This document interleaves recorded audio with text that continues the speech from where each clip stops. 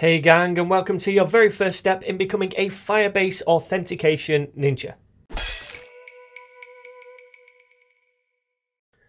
Alright then my friends, so this course is all about Firebase Authentication and that's going to allow us to implement some kind of authentication flow into our front end applications or websites so that users can sign up, log in, access data, have profiles, etc. But first of all, let's look at the bigger picture for a second. What is Firebase as a whole? Well, Firebase is a complete backend as a service with many different features that can plug right into our applications. And those features are listed right down here. So we have loads of different things that we can use with Firebase. Some of these are a real-time database, cloud storage, cloud functions, hosting, and authentication.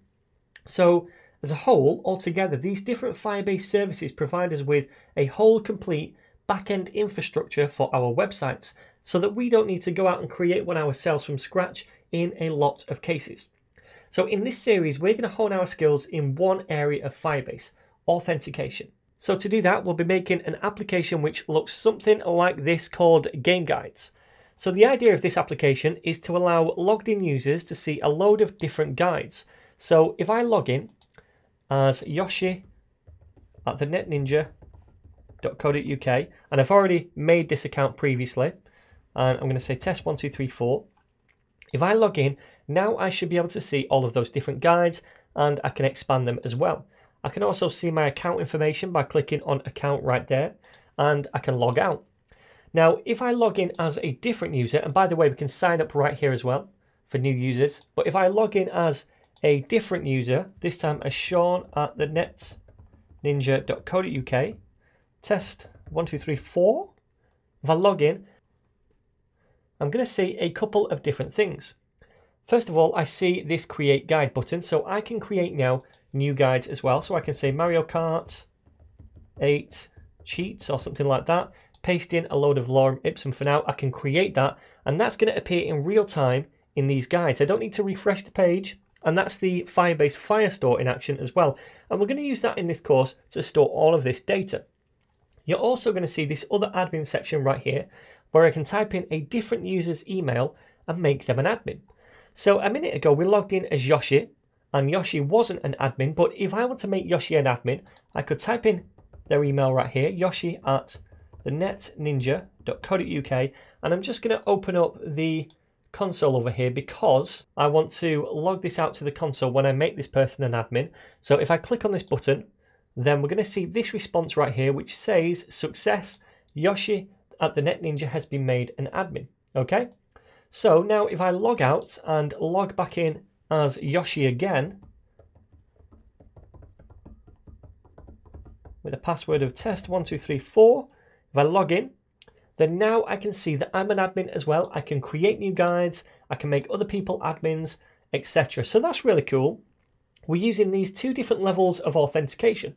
Normal users, which can read all of these different guides, and also admin users, which can create new guides and create new admins. And people who are not authenticated altogether, not logged in, they can't do anything. They can't read guides or they can't create anything. All right, so we have these different tiers of authentication, and we're going to cover all of this inside this course. Now, as always, I've created all of the different course files for this series. You're going to find them on this repo right here, Firebase Auth.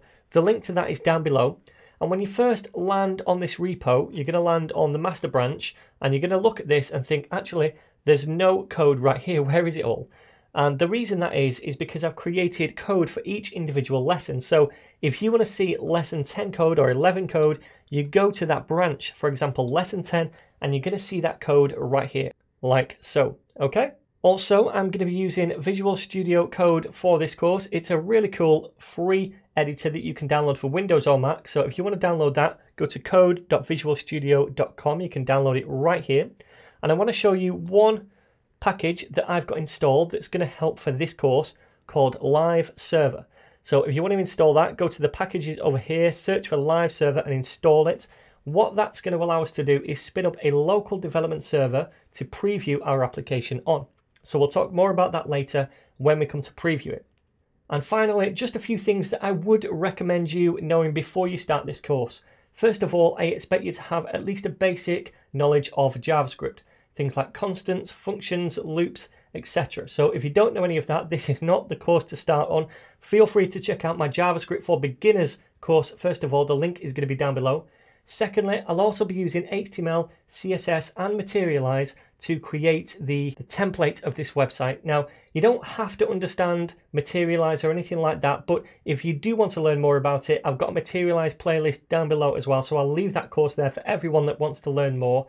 And finally, I would recommend that you know a little bit about Firebase, Firestore or the real-time database because that's what we're going to be using in this course as well. Now, I will talk about this briefly and how to use the basic features, but I do have a whole playlist on Firebase Firestore right on this channel. It's about 10 videos long, so if you want to check out that first, that would be a good place to start as well.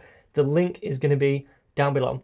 For everyone else, if you're still with me, I really hope you enjoy this series. And if you do, my friends, don't forget to share, subscribe, and like, and I'm going to see you in the very next tutorial.